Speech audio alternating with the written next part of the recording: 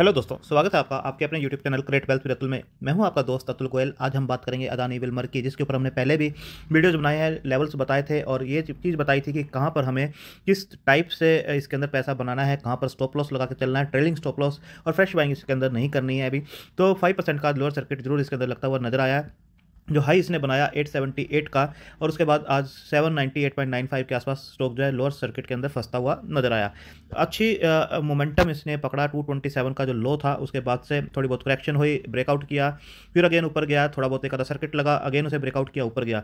तो यहाँ पर भी आपको सेम चीज़ करनी है, जो पहले भी मैंने बताया था वीडियो के अंदर। अभी देख लेते हैं इसे टू आवर्स का चार्ट फ्रेम निकालते हैं और इस टाइप से आपको पूरा का पूरा चार्ट पैटर्न दिखाई देगा। मैंने पहले भी बताया था कि इसके अंदर जो चीज़ बन रही है और कई शेयर्स में इस टाइप की कॉमन चीज़ होती है, आपको जो इसका ग्रीन कैंडल बन रही है टू आवर्स के टाइम फ्रेम के अंदर, उसका जो लोअर पार्ट है, उसके ऊपर ही स्टॉप लॉस लगा के चलना है। तो नेक्स्ट कैंडल जब बनेगी, तब हमें जैसे ये कैंडल नेक्स्ट बनी तो इसके लोअर लोअर एंड के ऊपर ही आपको अपना स्टॉप लॉस शिफ्ट कर देना यहाँ से यहाँ पर। तो आप देखेंगे कि जो इसका लो एंड था, तीन सौ नब्बे रुपये उसको इसने टच नहीं किया। उसके बाद देखिए नेक्स्ट कैंडल जब बनी है, इसका लो इसने टच नहीं किया है। यहाँ पर भी देखिए, इस कैंडल का लो इसने टच नहीं किया। तो इस टाइप से ट्रेलिंग स्टॉप लॉस के साथ हमें ऊपर इसे शिफ्ट करते चले जाना है। अगर आप देखेंगे, यहाँ पर जैसे मैंने बताया कि जो कैंडल है, जो आपका बनेगा लो पार्ट उसके ऊपर ही स्टॉप लॉस लगाना है। तो यहाँ पर स्टॉप लॉस आपका लगा लगा हुआ था, यहाँ पर स्टॉप लॉस आपका लगा हुआ था इस कैंडल के लो के ऊपर। जैसे ही इसने यहाँ पर सर्किट से नीचे आपका किया तो यहाँ पर आपका सर्किट जो स्टॉप लॉस था हिट हुआ और आपका जो प्रॉफिट था, वो बुक हो गया और यहाँ पर स्टॉक ने लो बनाया। अगेन जो है, इसके हाई के ऊपर ही हमें जो है पोजीशन द्वारा बनानी है, जब ये हाई को ब्रेक करेगा। हाई को ब्रेक जब तक नहीं करता है, तब तक आपको इसके अंदर पोजीशन नहीं बनानी है, क्योंकि तब तक इसके अंदर स्ट्रेंथ नहीं आएगी, जब तक वो उसके हाई को ब्रेक नहीं करता है। अगेन देखिए, यहाँ पर हमने सेम चीज़ बताई थी कि जो इसका ग्रीन कैंडल का लो उसको लगा के चलिए। ग्रीन जैसे इसने यहाँ पर हाई को देखिए ब्रेक किया आपकी यहाँ पे पोजीशन बन गई है और यहाँ पर आप बने हुए हो। अगेन देखिए, इसने जो ग्रीन कैंडल्स बनाई, इसका लो जो है छः सौ के आसपास का यहाँ पर आप बने हुए हो। इसका यहाँ पर आपका स्टॉप लॉस है इस कैंडल के लो पे। और इसके बाद देखिए, इसको इसने टच नहीं किया है। आप ऊपर की भी कैंडल्स देखेंगे, यहाँ पर ग्रीन कैंडल बनी टू आवर्स बेस के ऊपर। तो इसका जो लो था सिक्स के आसपास का था, इसको इसने टच भी नहीं किया है। नेक्स्ट कैंडल बनी, ये बड़े वाली कैंडल सेवन के आसपास का ले लीजिए। आपका स्टॉप लॉस यहाँ पर शिफ्ट हुआ।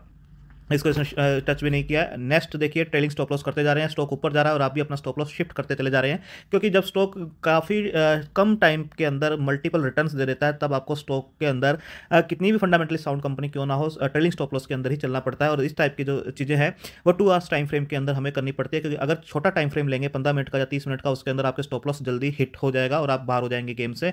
तो यहाँ पर देखिए अगेन आपने यहाँ पर ग्रीन कैंडल बनी। इसका स्टॉप लॉस आपका यहाँ पर था। ग्रीन कैंडल आपकी यहाँ पर बनी, आपका स्टॉप लॉस यहाँ पर था, इसके लो के ऊपर, यानी 795 के आसपास आपका जो स्टॉप लॉस है, वो लगा हुआ था। आप देखिए यहाँ पर तो यहाँ पर आपका स्टॉप लॉस जो है, इस कैंडल के आसपास जो है हिट हो गया है। तो तो आपका जो स्टॉप लॉस था, वो यहाँ पर हिट हुआ और आप गेम से बाहर हो गए।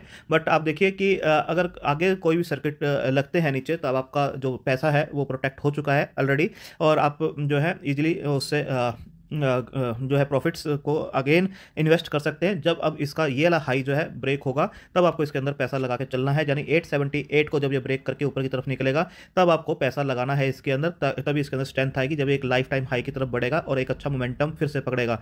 तो इसके अंदर अभी भी स्ट्रेंथ है, अगर आप चार्ट को देखेंगे तो यहाँ से देखिए टू आर टाइम फ्रेम के अंदर एक अच्छा इसका मोमेंटम इसने यहाँ पर बना हुआ है।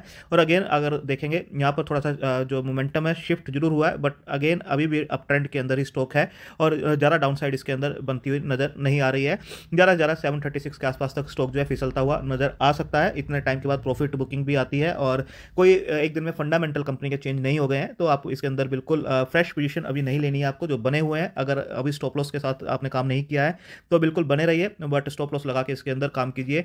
और सेवन को अगर ब्रेक करता है तो सेवन के आसपास स्टॉक जो है आता हुआ नज़र आ सकता है। बट फ्रेश पोजिशन तभी बनाएँगे, जब इसके अंदर अगेन मोमेंटम आना स्टार्ट होगा मोमेंटम तभी आएगा जब ये अपने फ्रेश लाइफ टाइम हाई को यहाँ पे 878 को ब्रेक करके ऊपर की तरफ़ जाएगा। पहले भी आप देखेंगे यहाँ पर इसने जो लाइफ जो हाई बनाया था, आप देखिए हाई बनाया, यहाँ पर इसने लो बनाया। जब इस हाई को इसने ब्रेक किया, तब इसके अंदर मोमेंटम आया। और यहाँ पर देखिए यहाँ पर इसने एक हाई बनाया था और यहाँ पे जो है स्टॉक थोड़ा सा करेक्ट हुआ। जब इसके हाई को इसने ब्रेक कर दिया, तब एक मोमेंटम आया। अगेन जो है इसके अंदर मोमेंटम तभी आएगा जब इस हाई को ये ब्रेक करेगा। और अगर इसको ब्रेक नहीं करता है तो वैसे भी आपको पता है पैसा नहीं बन पाएगा तो इसके अंदर पोजिशन बना के अभी कोई फ़ायदा नहीं है। अगर आप लॉन्ग टर्म के लिए इसको लेना चाहते हैं तो थोड़ी करेक्शन के बाद और कोई एक लेवल के बाद जब कंसोलिडेट हो, उसके बाद इसके अंदर पोजिशन बनाइए। थैंक यू धन्यवाद।